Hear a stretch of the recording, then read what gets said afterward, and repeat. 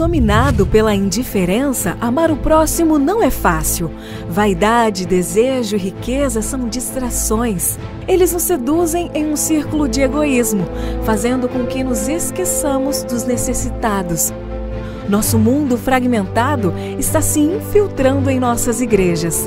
Ele deixa as pessoas quebrantadas, divide o propósito e reduz boas ações a ações vazias.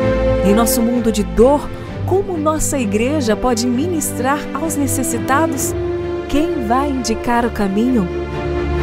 No dia 21 de março de 2015, o Dia Mundial dos Jovens, mais de 8 milhões de jovens adventistas de 151 países atenderam às necessidades das pessoas em suas comunidades, dedicaram tempo ao sem-teto e cantaram em asilos. Milhares de jovens em todo o mundo usaram o Twitter como um lugar para compartilhar suas atividades do Dia Mundial dos Jovens usando a hashtag Global Youth Day. Essa hashtag foi usada em quase 20 mil tweets e ganhou mais de 36 milhões de retweets e compartilhamentos.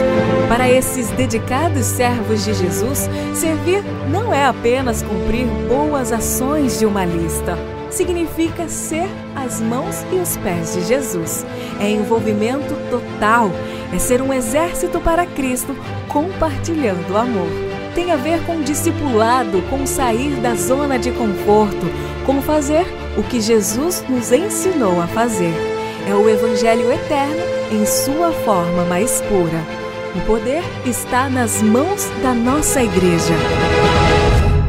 Dia Mundial do Jovem Adventista. 19 de março de 2016.